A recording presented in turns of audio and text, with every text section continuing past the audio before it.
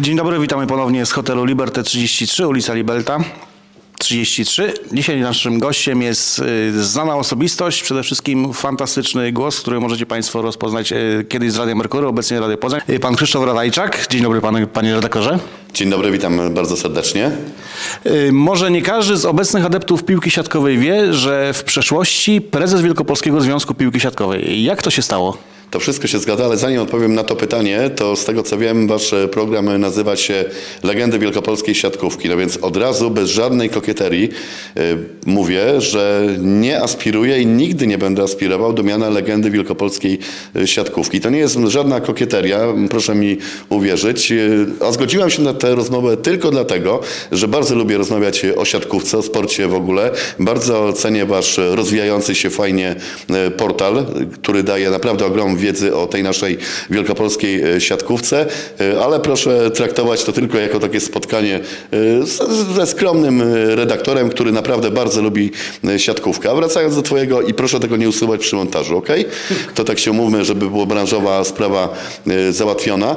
A jeśli chodzi, doszło do tego w 2004 roku, zawsze po Igrzyskach Olimpijskich następuje taki okres wyborczy i nie ukrywam, że wtedy to był bardzo dobry czas dla wielkopolskiej siatkówki. E, Doskonale no, znałem przede wszystkim środowisko e, tej ligowej siatkówki w naszym regionie. Przypomnijmy, że wtedy trzy drużyny kobiece występowały na pułapie Ekstraklasy, czyli Pilski e, PTPS pod różnymi nazwami, Nafta PTPS e, Piła, drużyna Kalickiego Augusto. Bardzo dobrze radziły sobie także poznańskie akademiczki i uwaga, aspirował do występów w Ekstraklasie męski zespół Jokera Piła. Mieliśmy wtedy ogromną przerwę, ponad 20-letnią od czasów Poznani, która grała na parkietach Ekstraklasy siatkarzy. I nie ukrywam, że to była akcja, klasyczna akcja wyborcza przeprowadzana przez owe kluby ligowe.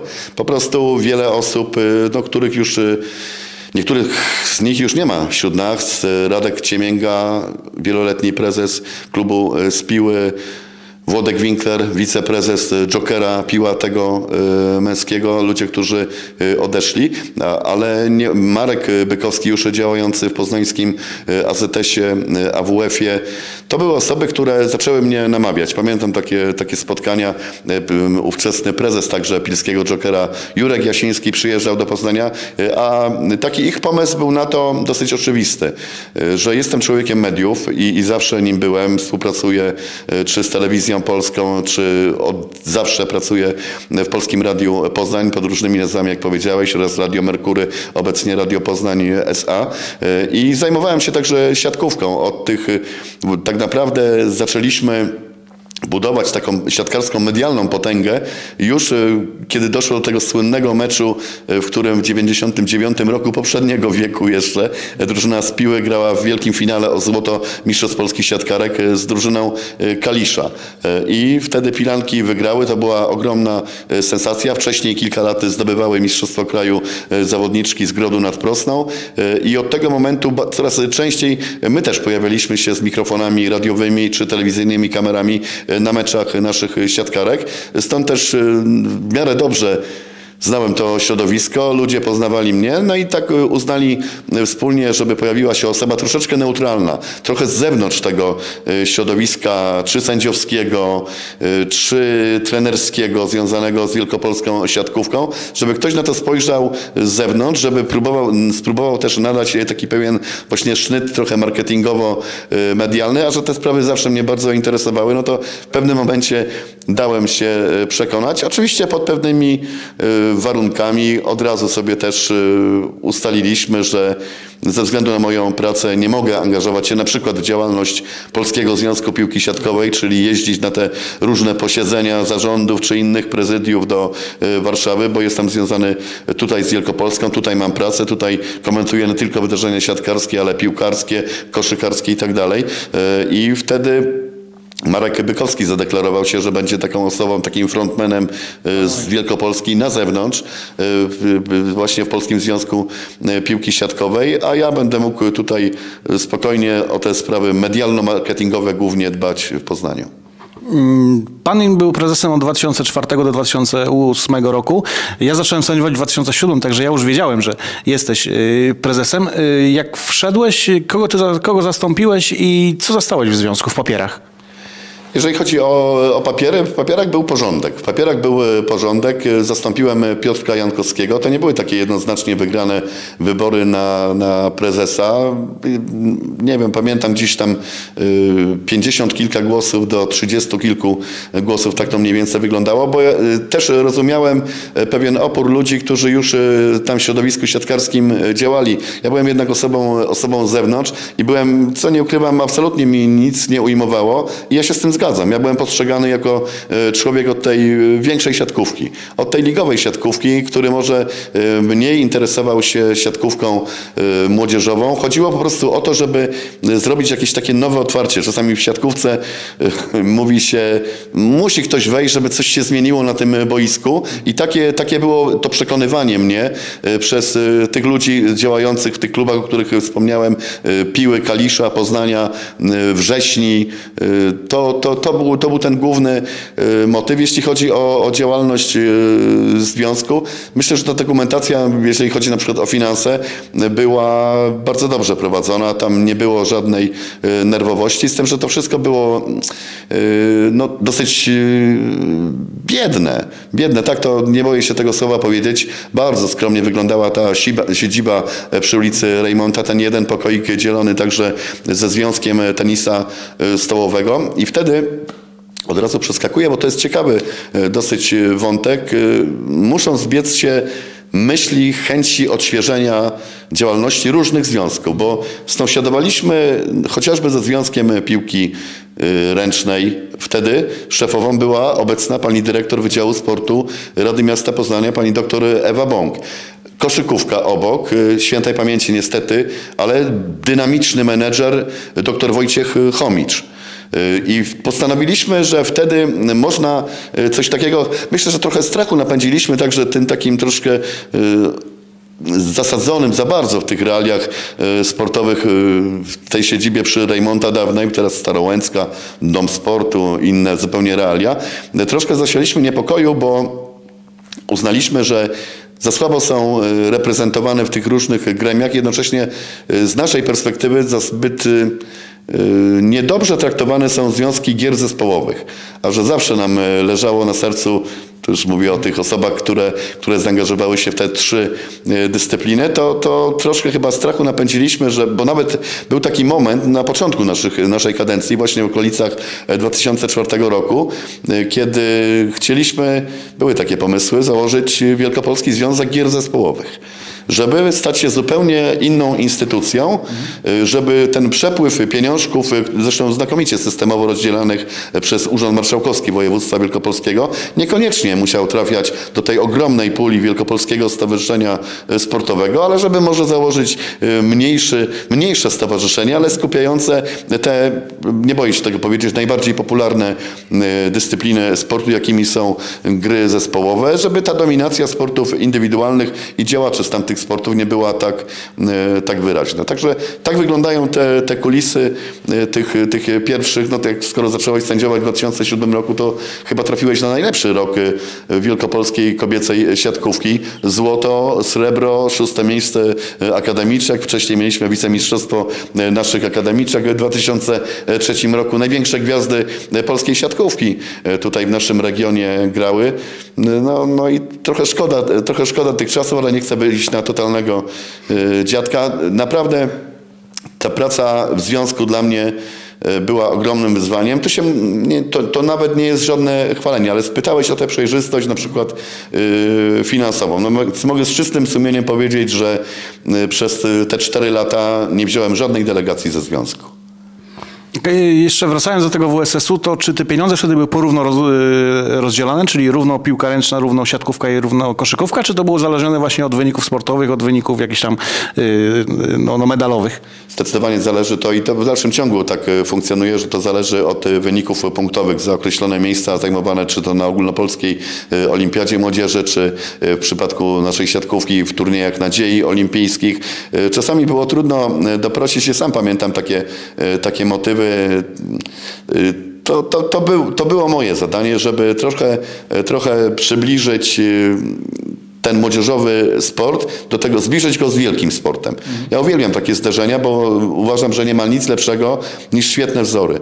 A że mieliśmy wtedy nawet y, mistrzynię y, Europy, między innymi Sylwia Pycia była tutaj y, na miejscu, y, Iza Bełcik, y, te dziewczyny przyjeżdżały na spotkania do tej skromnej siedziby na Rajmonta, do tej salki y, posiedzeń. Sam pamiętam, jak, jak zrobiliśmy to też do, tej, do tego czasu po prostu się tego nie robiło. Żeby docenić te młode reprezentacje wyjeżdżające, czy chłopaków, czy y, dziewczyny na turnieje nadziei olimpijskich. Sam pamiętam, jak to było tak trochę, to jest złe słowo, ale, ale nawet takie załatwianie przez to, że mówię, mogłem, być tutaj na miejscu, że, że mogłem pójść, nie wiem, do urzędników, czy to Departamentu Urzędu Marszałkowskiego, czy, czy skonsultować się z panią doktor Ewą Bąk, jak można pomóc tym grom zespołowym, żeby na przykład godnie reprezentowały Wielkopolskę, żeby na przykład były nowe, nowe dresy dla tych reprezentacji, żeby było jakieś, nie wiem, pożegnanie drużyn wyjeżdżających na duże imprezy w tych kategoriach młodzieżowych, żeby przyszły te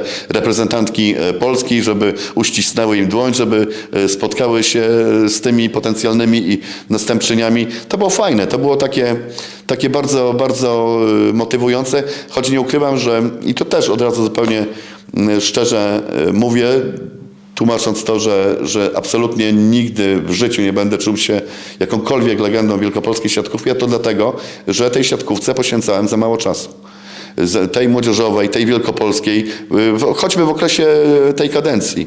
Bo ze względu na, na, swój charakter pracy, wiadomo, że najważniejsze imprezy odbywają się w weekendy, a ja w weekendy jako sprawozdawca sportowy, dziennikarz sportowy prowadzący audycje, muszę być no, w tyglu zawodowym. Nie mogłem na tyle się poświęcić i ja się z tym źle czułem. Ja, ja mniej więcej połowie kadencji już wiedziałem, że nie będę startował na kolejną, właśnie z tego powodu, żeby być fair wobec całego środowiska, nie tylko tej wielkiej siatkówki, bo tam wiedziałem, że będę jeździł na mecze Piranek, Kaliszanek, że będę obserwował pierwszoligowe występy czy Krispolu, progresów wtedy września, czy, czy wtedy walczących też chłopaków z Inotelu na parkietach pierwszoligowych to czułem, że, że to nie jest to, że, że, że taki nie powinien być.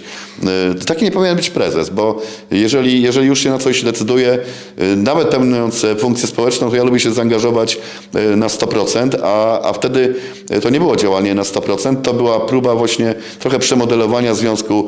Powstała specjalna strona w Głosie Wielkopolskim, poświęcona wielkopolskiej siatkówce systematycznie to się okazywało, prezentując wyniki, postacie, yy, najważniejsze wydarzenia z życia związku. To co wy teraz staracie się robić w wielkopolskiej siatkówce, żeby pokazywać to, to bieżące życie? Myślę, że część się udała, część nie, ale naprawdę niesamowita przygoda. Wracając do, na, do, naszego cyklu, to, to my decydujemy, kto jest legendą wielkopolskiej siatkówki, a nie nasze goście, dlatego skoro, skoro tak uznaliśmy, to tak będzie. Robiąc research do tego, do tego naszego spotkania, za główny cel postawiłeś sobie też jako prezes otwarcie jakby tej wielkopolskiej siatkówki WZPS-u na to, na media, na to, żeby się więcej o tym mówiło. Czy to wtedy było, albo może nie, czy to wtedy było? Jak trudno wtedy było, nie mając tak popularnego internetu, Facebooków, Instagramów i innych mediów społecznościowych? Trzeba było przebijać się do różnych redakcji, trzeba było liczyć na życzliwość wydawców.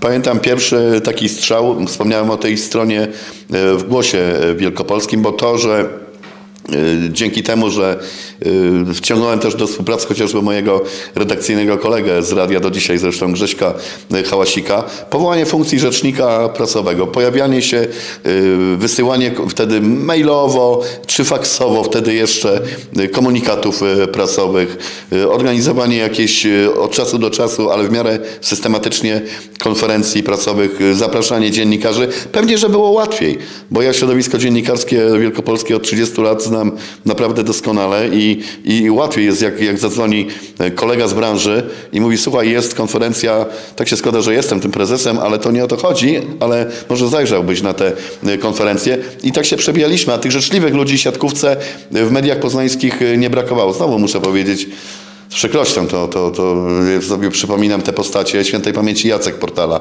głos wielkopolski, zakochany w siatkówce człowiek naprawdę maleńkiego wzrostu, główna jego dyscyplina to żużel, ale o siatkówce pisał z miłością. To też od razu tak anegdotycznie e, powiem. e, Byłem komentować e, finał e, Final Four e, siatkarek z udziałem Nafty Piła w 2000 roku w tureckiej bursie. Był też e, Jacek Portala. Mieszkaliśmy w takim hotelu, pamiętam Kremlin się e, nazywał, złocenia bajery. Nie tak pięknie jak tutaj w hotelu Liberté, ale, ale też na bogato. I wtedy pamiętam Jacek tak krążył, robiąc wywiady i tak spoglądał w górę i była gamowo tam grała, no, grubo ponad dwa metry. I, I tak go poklepała po główce, mówiąc do niego mała diec. No to są takie fenomenalne wspomnienia.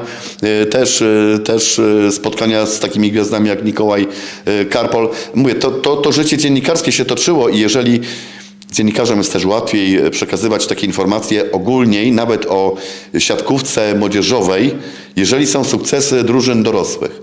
Bo wtedy mówią, o siatkówka, to zapala się lampka, że w y, Final Four grała y, nafta, y, gaz, piła, że Augusta, później Winiary, Kalisz, czyli Kalisja świetnie radziła sobie także w rozgrywkach Ligi Mistrzów. Wielu dziennikarzy z wielkopolskich mediów obsługiwało te wydarzenia, czy jeżdżąc do Kalisza, czy jeżdżąc nawet na mecze wyjazdowe. Był taki czas, że Zaczęliśmy robić nieustające transmisje.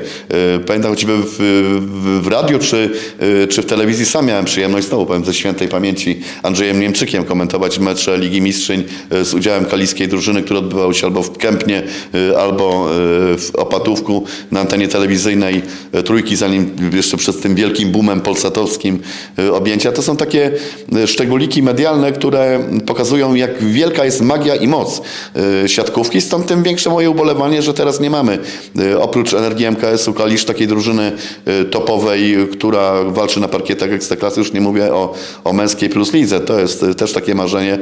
Też działacie na tym siatkarskim rynku, oglądacie co dzieje się podczas turnieju dziewczyn Amika Cup w Szamotułach. Świetny organizator Ryszard Frąckowiak, czy działania pani Ani Sumelki, Jacka Kubiaka. Też działacie przy, przy memoriale Arka Gołasia w Swarzędzu, też dzięki zaangażowaniu fantastycznym y, zapaleńca sportowego y, burmistrza Mariana Szkudlarka, ale to pokazuje potencjał tej dyscypliny sportu. Wszyscy mówią, e, Wielkopolska, Poznań w szczególności, no nie, to tylko koszykówka generalnie. Nieprawda. Tu jest miejsce dla, dla wielu dyscyplin. Tutaj tylko, tu musi być produkt najwyższej jakości, już tak używam języka trochę marketingowego, produkt. Naprawdę, to musi być wielkie, wspaniałe widowisko, muszą przyjeżdżać e, najlepsi siatkarze, tylko mnie się marzy to, żeby, żeby ci najwięksi siatkarze obecnie występujący, nie wiem, w Zaksie, w Skrze Bełchatów, w Resowi, przyjeżdżali na mecze z poznańską drużyną. No to jest, to jest, to byłoby coś naprawdę fantastycznego. Mam nadzieję, że, że doczekam tej chwili, bo jestem z reguły optymistą i, i może, może tak się zdarzy, że prędzej czy później może będzie piękna, nowoczesna e, hala sportowa w Wielkopolsce. Wiem, że takie starania podjął chociażby wojewoda. Ostatnio pan e, Michał Zieliński gdzieś tam te ścieżki w centrali e, ministerialnej wydeptując. No, skoro, skoro tutaj jakoś nic nie może powstać, no to może, może innymi ścieżkami znowu, znowu uda się to zrealizować. No bo ja już nie chcę przypominać, bo to też był, wy- wyjdzie na to, że no ale wiadomo, że, że e, zawsze, zawsze trochę chwali się te swoje, y, swoje czasy, o tak to nazwijmy, Y, ale mówię, cały czas podkreślam te zasługi ludzi, którzy mnie otaczali, bo wspomniałeś o tej medialności. Y, Fenomenalny, późniejszy, też świętej pamięci, prezes Wielkopolskiego Związku Piłki Siatkowej Damian Gapiński. Sportowe fakty. Przecież to też był y, nie- niesamowity mój orędownik w tej pierwszej fazie działań, kiedy jako, jako dziennikarz siatkarski, ale też y, y, człowiek y, z siatkarski ze Świerczewa Poznańskiego, FKS-u, wchodził y, do, do tej działalności. Zobacz, ilu, ilu życzliwych ludzi mogło się wokół y, pojawić z chęciami do, do pracy, do działania, z pomysłami, żeby, żeby to całe towarzystwo trochę obudzić, no, że, że można z tą dyscypliną, żeby nie być takim ubogim krewnym na tle e, piłki nożnej w Wielkopolsce, która zawsze miała e, znakomitą e, markę, e, czy koszykówki właśnie, ale mówię, my, my nie ścigaliśmy się, my, my współprac- Nie do przecenienia jest to, o czym Ci wspominałem już e, w tej naszej rozmowie, ta współpraca z piłką ręczną z dr Bąk, e, czy później e, Boże, ile razy mówię świętej pamięci, Markiem e, Werle, e, też e, późniejszym e, prezesem e, Wielkopolskiego Związku e, Piłki Ręcznej, czy Wojtkiem Chomiczem. No naprawdę to był, to był fantastyczny e, czas. E, Wielkie wydarzenia, Liga Światowa e, pod kopułą poznańskiej areny. Po raz 257 prawie ze łzami w oczach powiem świętej pamięci Maciej Frankiewicz. Pamiętam te nasze wizyty y, wspólnie z panią Ewą Bąk y, czy z Markiem Bykowskim u prezydenta Frankiewicza. No pełna otwartość.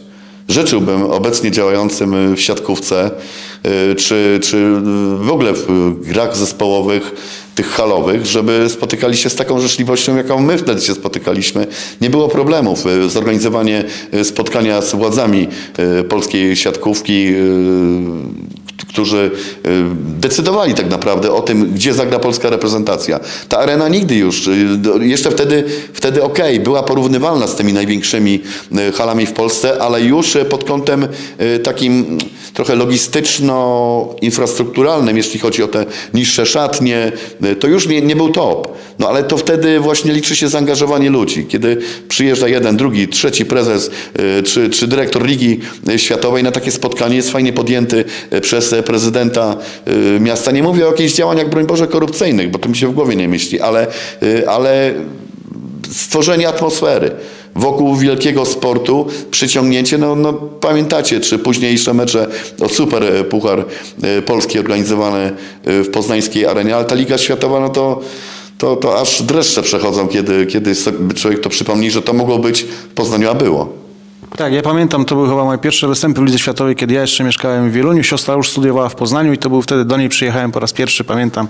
Jeszcze chyba Mateusz Borek prowadził studio z Piotrem Rejsem przed halą, przed areną. Jakieś takie słoinki mam. Niesamowite są e, wspominki, bo to były, no mówię, wielkie wydarzenia, a, a te wielkie wydarzenia budują e, znakomity klimat wokół dyscypliny, powodują to, że e, interesują się rodzice, e, za rodzicami idą dzieciaki, później angażują się w ten sport dziecięcy rodzice, tworzy się e, środowisko, z tego środowiska rodzą się pierwsze sukcesy stricte sportowe i potem cała ta maszynka jest fajnie, fajnie nakręcona. Tylko też e, dlaczego, dlaczego ja tyle czasu poświęcałem wspólnie e, czy z kolegami dziennikarzami a propos o tych rzeczach, o których mówicie.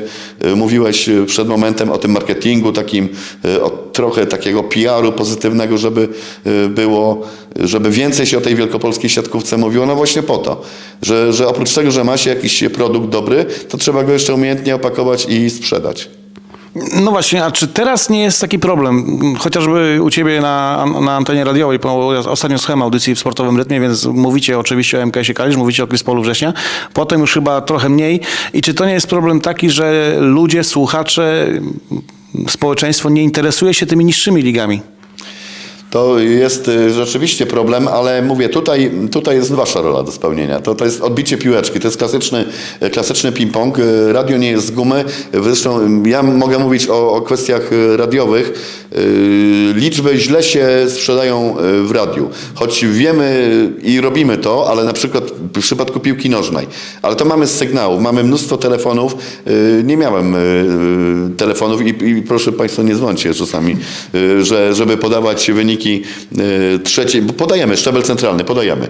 Podajemy, podajemy łącznie y, z dziewczynami z UKŻPS-u Kościan, z naszym y, SMS-em, tymi wszystkimi, które grają na pułapie drugoligowym, chłopacy Wilki Wilczyn, Konspol Słupca, mówimy o tych wszystkich wynikach. Czyli tu zachowujemy, jeśli chodzi o gry halowe, zatrzymujemy się na szczeblu centralnym. Podobnie rzecz się ma w przypadku koszykówki czy piłki ręcznej, żeby równo e, traktować. Jestem trochę przewrażliwiony na tym punkcie równego traktowania, ale okej, niech, ta, niech tak będzie, bo tak powinno być. E, Szanujemy te wszystkie dyscypliny e, w grach. E, Piłka nożna schodzimy niżej. No ale piłka nożna rządzi światem. No, rozmawiamy w trakcie, w trakcie mundialu.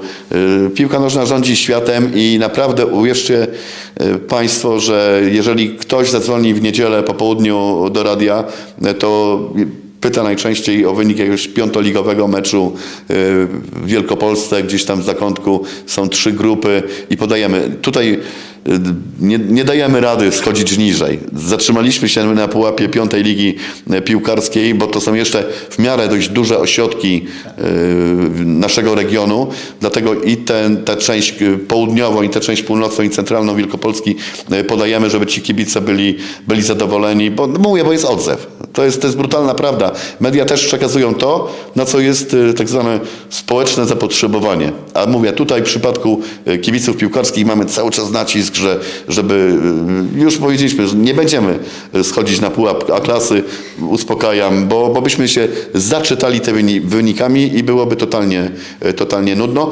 Ale mówię, tutaj też kwestia pewnej ofensywy, e, działania związków sportowych, przesyłania e, komunikatów. Uwierzcie, że no, mimo, nie wiem, naszej pasji, my lubimy to, co robimy, mówię o kolegach, czy z radia, czy, czy z telewizji, bo inaczej byśmy sami wiecie, jak to, jak to, gdybyście nie lubili siatkówki i tego działania, to nie robilibyście portalu. I tak to w naszym przypadku wygląda, z tym, że my mamy wielość tych dyscyplin. Musimy to wszystko jakoś ogarnąć, podzielić się, wyznaczyć grafik na, na dany e, weekend. Po prostu nie dajemy rady i dlatego potrzebujemy sygnałów. Nie wystarczy czasami stworzyć wydarzenia na Facebooku i myśleć, że cały świat o tym wie. Bo gdybym miał przeglądać z piłki ręcznej, z koszykówki, z siatkówki, nie zapominamy o indywidualnych, z kajakarstwa, z judo, Hokej na trawie.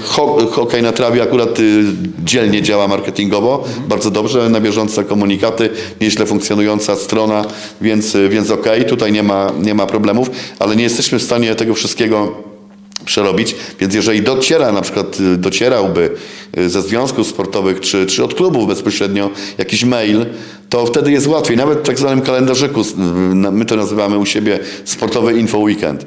Sam go dzisiaj przygotowywałem, też nie schodząc zbyt nisko, ale, ale już do, do na przykład y, wiem, że, że z kim zagrają chłopacy z NA Energetyka w drugiej lidze, y, z kim zagrają Wilki, Wilczy, że też mecz jest. Podajemy te mecze, które odbywają się na terenie Wielkopolski w dany, y, w dany weekend, ale jeżeli taki sygnał mamy, no to go przekazujemy z przyjemnością, bo, bo zależy nam na tym, żeby też kibice, bo to dla kibiców się robi. My gadamy dla kibiców, a, a siatkarze, siatkarki grają też dla kibiców. No więc, żeby jak najwięcej ich w tych e, halach było, często się spotykamy, ty w roli sędziowskiej, twoja siostra Ania y, też, e, no to czasami ja wpadam y, ostatnio chyba, nie wiem, na 15 minut, bo, bo byłem na koszykówce, przejechałem z Chwiałki, gdzie grały koszykarki, na Morasko, gdzie grały siatkarki, a że grały szybko i wygrały 3-0, to, to ledwie, ledwie się załapałem na dwie ostatnie piłki. Takie jest życie też dziennikarza sportowego, radiowego.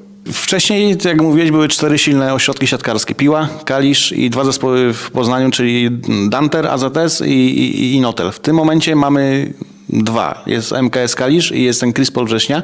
Czy będąc w tym środowisku biznesowo-dziennikarskim odczuwasz takie zapotrzebowanie, że ludzie, społeczeństwo, biznesmeni, sponsorzy chcieliby, żeby ta wielka siatkówka zaistniała też w Poznaniu? Zdecydowanie tak, bo ludzie oglądają w telewizji, wielu fanów siatkówki y, jeździ na wydarzenia te największe. Na, ostatnio mamy wysyp cały dużych imprez y, odbywających się czy w Gdańsku, czy w Łodzi. Nie chcę wracać wracać już do tego tematu tej wielkiej hali widowiskowo-sportowej, bo bez niej żadna światowa federacja, i to nie chodzi tylko o siatkówkę, ani piłki ręcznej, ani koszykówki, nie przyzna nam żadnej fajnej y, imprezy y, tutaj w stolicy Wielkopolskiej, nad czym ubolewam. Ubolewam i mam nadzieję, że kiedyś ta sytuacja ulegnie zmianie, bo uważam, że takie miasto y, prawie 600 tysięczne jak Poznań zasługuje na to, by móc zorganizować naprawdę Mistrzostwa Świata czy Europy w większości dyscyplin olimpijskich. I nie tylko chodzi mi o gry zespołowe, a tak naprawdę y, jedynie patrząc na Maltę, to możemy sobie wyobrazić i są organizowane trzy Puchary Świata w kajakarstwie, czy wioślarstwie, a jeżeli chodzi o, y, o te sporty halowe, no to bida straszna jest i, i aż, aż się denerwuję, jak o, tym, jak o tym y, mówię. Nie wszystko załatwią targi, choć też przychylne sportowi. No teraz we władaniu targów jest także arena, więc może, może, może. A wspomniałeś o tym zainteresowaniu. Zainteresowanie jest wtedy, kiedy, kiedy są wyniki. Ja tutaj jestem brutalny e, w takich e, ocenach. Jeżeli są zespoły topowe, jeżeli przyjeżdżają tutaj uznane marki rywalizując z naszymi e, poznańskimi, lokalnymi zespołami, to wtedy jest wszystko ok. Wtedy jest zainteresowanie kibiców, radnych, biznesu, bo to jest miejsce dobre do pokazania się. I wtedy, wtedy y, tylko potrzeba tego, tego impulsu y, i najczęściej pytany jestem, jeżeli już, y, to w kontekście męskiej siatkówki. Naprawdę, no nie ukrywam, to może nie jest najlepsza informacja dla prezesa Roberta Rakowskiego z NA Energetyka, któremu no, kibicuję też już od wielu, wielu y, lat, żeby wreszcie udało się y, awansować na parkiety Ekstraklasy, bo to rzeczywiście może będzie y, ten sygnał, że ta żeńska siatkówka w najlepszym wydaniu wraca do Poznania. Y, Z wielkim zainteresowaniem spoglądam na to, co dzieje się w Pile, bo no, mocny, z ogromnymi tradycjami ośrodek y, siatkarski, praca y, braci Lachów no, spowodowała, że już jest szczebel centralny. Za chwilę może będzie pierwsza liga. I po, no właśnie, no właśnie, także, także znowu jakby zaczynają się te ośrodki na nowo tworzyć i oby udało się y, to zrealizować. Ale jak mówię, zainteresowanie biznesu z takich pytań z ludźmi spotykanymi na meczach piłkarskich czy innych dopytują o męską siatkówkę najczęściej, czyli jednak pokazuje to siłę, no już teraz nie mamy Ligi Mistrzów Świata, ale mamy za to Ligę Wicemistrzów Świata, to wciąż nieźle, wciąż nieźle, no i są takie marzenia, żeby tutaj te największe firmy, najczęściej pokazywane w telewizji, najbardziej dopieszczane medialnie przyjeżdżały i ci siatkarze. To są wielkie, wielkie postacie, zresztą uważam, że mamy znakomitą e, plus e, ligę, e, mamy Kolejne pokolenia, zobaczcie y, Państwo, jak, jak się napędzają kolejne pokolenia. Nie mamy luki pokoleniowej w siatkówce, szczególnie tej męskiej, chociaż y, za chwilę powiem jeszcze dwa słowa o żeńskiej. Bardzo mi bliska y, ta, ta, ta żeńska siatkówka, y, ale, ale wracając do męskiej, przecież są medale zdobywane w U17, w U19, U22. No to jest coś niesamowitego. Nie ma, nie ma żadnej przepaści, a to wszystko dzięki temu, że mamy medale Mistrzostw Świata, Mistrzostw Europy, że gramy w Lidze Narodów y, na bieżąco, że są fajne widowiska, że jest stały dopływ, y, stały dopływ y, młodych ludzi do tej dyscypliny sportu. Ja nawet powiem, byłem w mocnym szoku, kiedy, kiedy, y, kiedy Zwierzył mi się kiedyś szef wielkopolskiej e, koszykówki i obecny też członek zarządu PZ Koszy, Łukasz Zarzycki, który mówi, że z jego takich wyliczeń, z obserwacji, z ankiet e, wynika, że więcej młodych chłopaków e, tutaj w okręgu w aglomeracji poznańskiej trafia obecnie do siatkówki niż do koszykówki. Co y, tym nieco starszym pokoleniom wydaje się rzeczą niemal niemożliwą. A, a skoro mówi to szef koszykówki, to ja mu, to ja mu wierzę. To ja mu wierzę, że tak właśnie, y, tak właśnie jest. I, ale to znowu nie chodzi o ściganie. Chodzi o to, żeby jakoś fajnie ci młodzi ludzie, czy dziewczyny, czy chłopacy y, potrafili się realizować. No wiesz, jak i przyjemnie, jednocześnie trochę przykro jest. Ostatnio miałem okazję być na meczu w Szczecinie drużyny grupy Azoty y, Chemika Police z, z zespołem, takie derby były grupy Azoty, bo z ekipą Tarnowa, Beniaminkiem y, grały. No i proszę, i y, pierwsza właściwie osoba w hali napotkana, y, Marlena y, Pleśnierowicz-Kowalewska, kontuzjowana wciąż, ale już niebawem wróci, mam nadzieję, że także do polskiej reprezentacji, y, Poznanianka, prawda? Y, No, Agnieszka Korneluk, y, Konkolewska, y, też uśmiechy z daleka, że gościu y, jako komisarz PLS-u przyjechał na, na mecz Poznanianka. Maria Stenzel, Kościan, później y, SMS poznański. No ludzie, no, po drugiej stronie nie, nie poznanianka, ale związana ostatnie lata z Poznaniem Klaudia Świstek. Y, Też, też y, wesoła, uśmiechnięta, do, doskonała siatkarka po drugiej stronie. To są, człowiek mówi, no właściwie tak spoglądasz, y, jeździsz czasami, ogląda się te mecze y, siatkarek. y, Gdyby tak każdą wyciągnąć, to, to byśmy tu reprezentację Polski zmontowali w Poznaniu niemal. Ale czy to nie jest ten boom teraz siatkarski taki? No, Polacy wicemistrzami świata, tak? Grupa Azoty Zaksa Kędzierzyn-Koźle drugi raz z rzędu zwycięzca Ligi Mistrzów. Y, Świetnie zaprezentowała się drużyna reprezentacji Polski pod y, wodą Stefana Lowariniego i gdyby nie te dwa punkciki, to kto wie, czy my byśmy nie zostali mistrzem świata w siatkówce, bo naprawdę zabrakło tylko tyle, a potem serpki zmiażdżyły wszystkich innych. Czy to nie jest teraz ten czas, żeby obudzić tych wszystkich miłośników siatkówki, zjednoczcie się i zróbcie coś w Poznaniu? No, obudźcie się, obudźcie się, obudźcie się, oczywiście tak. E, No, można to robić e, tak krok po kroku, też e, na, na każdym kroku staram się przekonywać nawet swoich znajomych, że ta hala na Moravsku, zróbmy pierwszy krok, nie jest aż tak daleko, jak wszystkim się wydają, o Jezu, jak to jest daleko. Jak to, no, ja wiem, że mnie jest łatwiej mówić jako mieszkańcowi północnej części Poznania, bo łatwiejszy z tego co wiem, ty też masz dosyć blisko do tej hali, ale przy tak ogromnym środowisku, jak chociażby na początek ta północna część Poznania, e, ludzie mieszkający na Piątkowie, e, też e, fantastycznie tam działające szkoły siatkarsko. Teraz mi do głowy przyszedł, to jest prawdziwa też legenda siatkówki Zbyszek Kegel. Wiel, wielka, wielka postać, człowiek zakochany w tej dyscyplinie sportu. Ile tych ludzi tutaj jest zakochanych w siatkówce w Poznaniu? No więc zacznijmy przychodzić, ja mówię, czasami mogę być na ostatnich 10 minutach tych siatkarek, chyba, że jestem w innym, innym mieście, na, na innym wydarzeniu.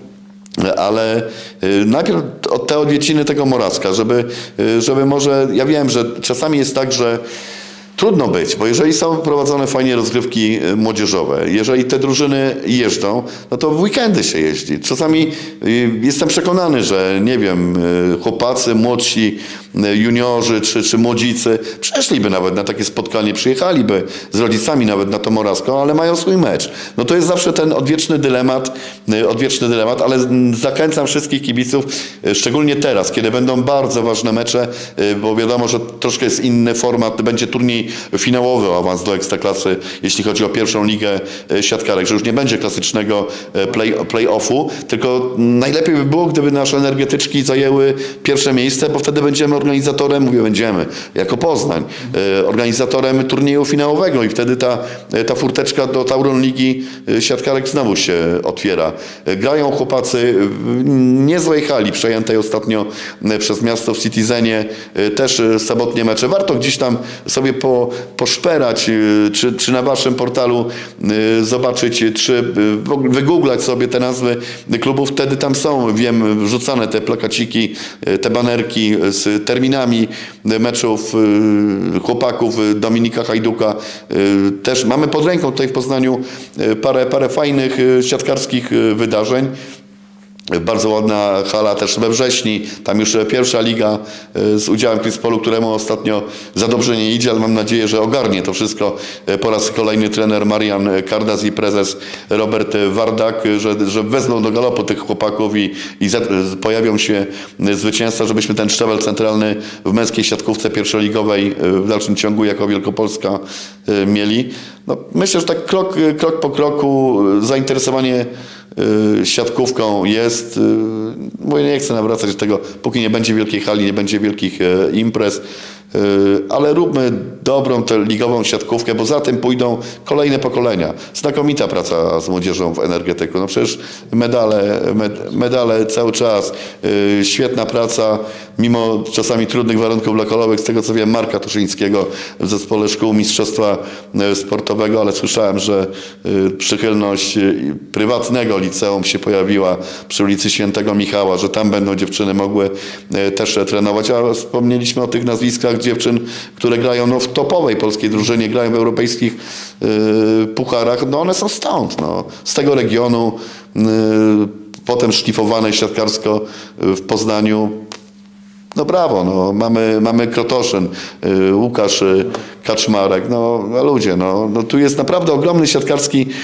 potencjał. Wiem, że no też, taki nieprzypadkowo mam znaczek Polskiego Komitetu Olimpijskiego, bo też y, no, mam trochę czasu, żeby jeszcze podziałać społecznie w takiej Komisji Sportu Regionalnego i Wiejskiego. I wiem, że, że też, y, też patrzy się na to z takiej perspektywy, żeby właśnie też w tych środowiskach mniejszych miast, mówię o całej też Wielkopolsce, ale o całej Polsce, wyłuskiwać y, siatkarskie talenty. Wiem, że y, gdzieś jest taki projekt, się pojawia, że będą y, podpisywane jakieś umowy takie, takie pilotażowe pomiędzy Polskim Związkiem Piłki Siatkowej, a właśnie choćby ludowymi zespołami sportowymi. Zresztą w strukturach, których wiele klubów siatkarskich już w naszym kraju funkcjonuje, żeby tych, tych o określonych parametrach też, czy siatkarki przyszłe, czy, czy siatkarze wyławiać z tych mniejszych miast, żeby ich po prostu, żeby to sito było w miarę zacieśnione, żeby tych talentów po prostu do innych nawet dyscyplin nie wypuszczać. Ale to ma być coś na zasadzie sosów, czy lub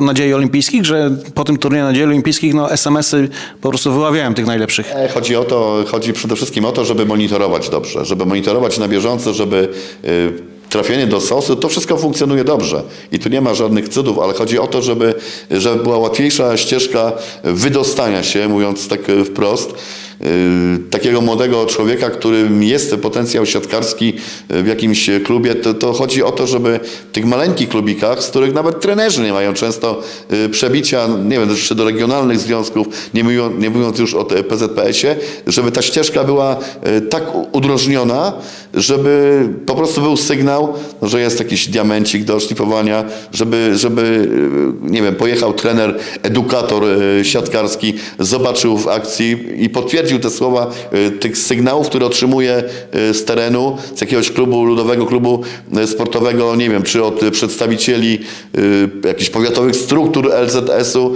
Chodzi o to, żeby, żeby jak najwięcej tych ludzi uprawiało sport po- pierwsze, żeby z tej powszechności y, nie przegapić y, ludzi, którzy mają potencjał i talent y, sportowy. Dobra, wspomniałeś jeszcze taką nazwę Info Weekend. Czy to jest nazwa zastrzeżona, czy nie? Nie. Czyli możemy jej używać, jakbyśmy chcieli reklamować nadchod- week- weekend nadchodzący. Tak, bo my robimy... Rob... Siatkarski Info Weekend na przykład, jeżeli pojawi się e, na waszym portalu, to, to nawet będziemy chętnie e, odsyłać e, do, li, linkować, jak to się pięknie i młodzieżowo mówi. Tak, bo my zawsze w czwartek lub w piątek staramy się zaprezentować taki spis weekendu, co się dzieje na wielkopolskich boiskach ze wszystkich, tak żeby każdy kibic o każdej porze wiedział gdzie, w jakiej hali się to odbywa. I Info Weekend fantastyczna nazwa, naprawdę. Od razu mówię kradnę.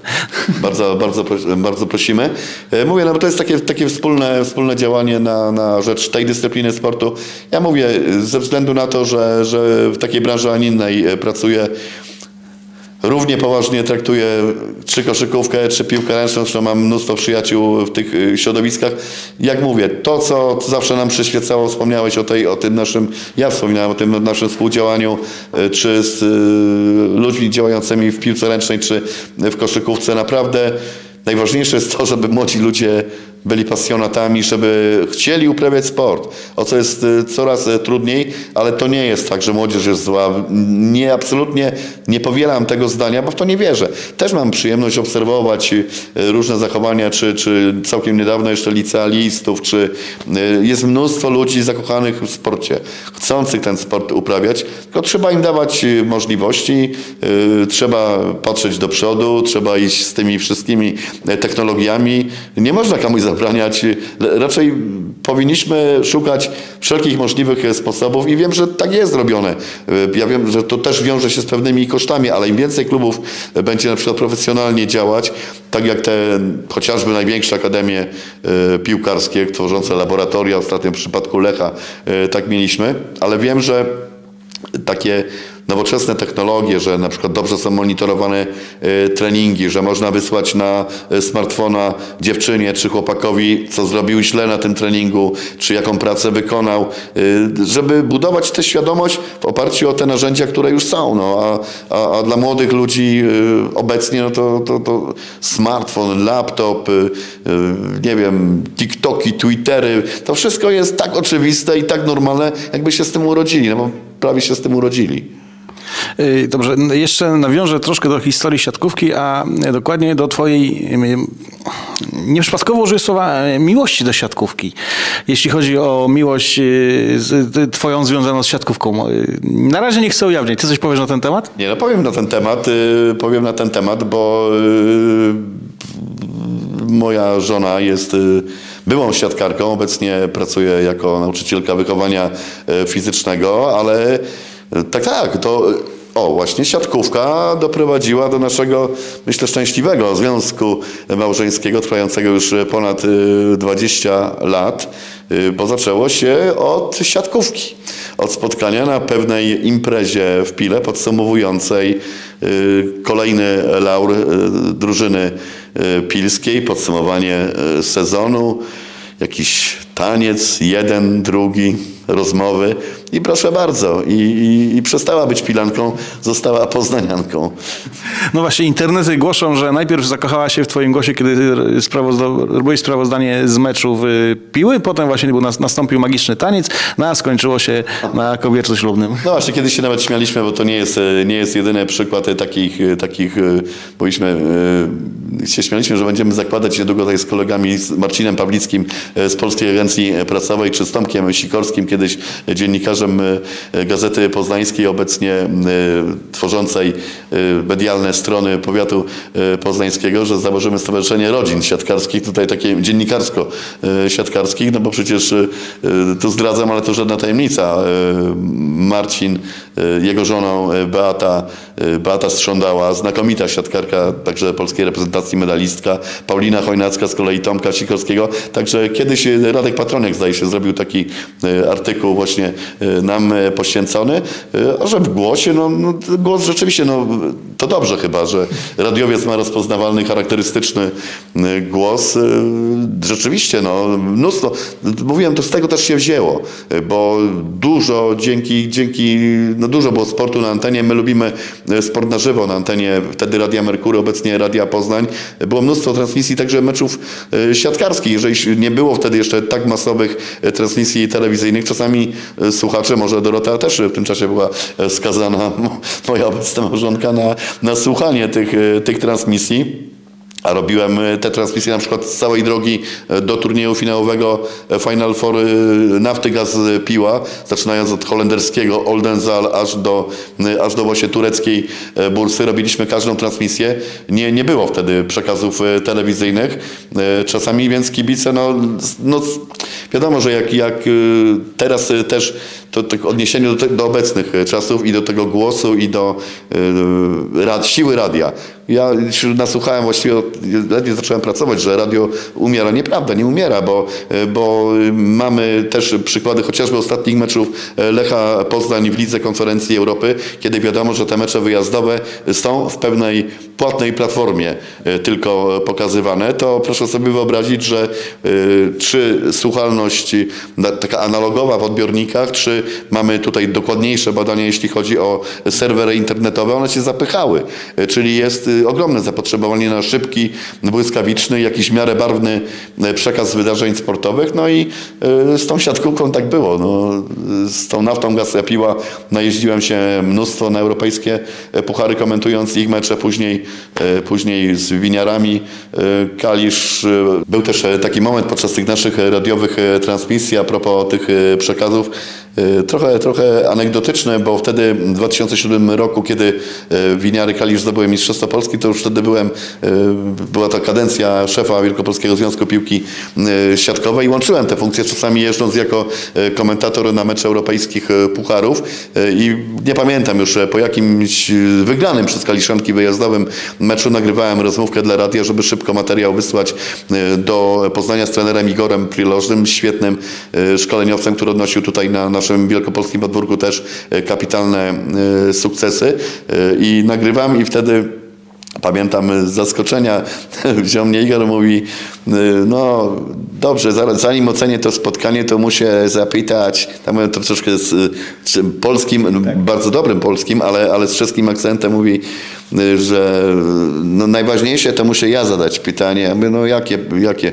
On mówi, no najważniejsze, czy nasz prezes Wielkopolskiej Federacji jest zadowolony. Ja mówię, no muszę być zadowolony, ale, ale tego nie, dali, nie, daliśmy, nie daliśmy w radio, żeby już nadmiernie e, tych funkcji nie łączyć. Później już rozmowa się potoczyła, ale, ale to z dowcipem rzeczywiście podszedł do takiej e, sytuacji, jak czasami e, no, te historie z dublowaniem funkcji się mają. Także mnóstwo fantastycznych e, wspomnień. Liczę na to, że może jeszcze kiedyś Będą takie wielkie emocje, bo, bo wielu moich kolegów, czy Grzesiek Kałasik, czy Wojtek Bernard, y, mieli okazję komentować naprawdę wielkie y, siatkarskie wydarzenia z udziałem wielkopolskich drużyn. No więc ściskamy mocno kciuki, bo też chcemy y, pracować przy tym największym, największym sporcie i wspólnie z kibicami cieszyć się tymi naszymi regionalnymi wielkopolskimi sukcesami.